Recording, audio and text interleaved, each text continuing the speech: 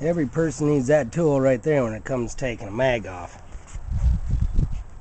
Okay, I just gave it a shot of gas. You set that on the highest pin, which is always the one on the side.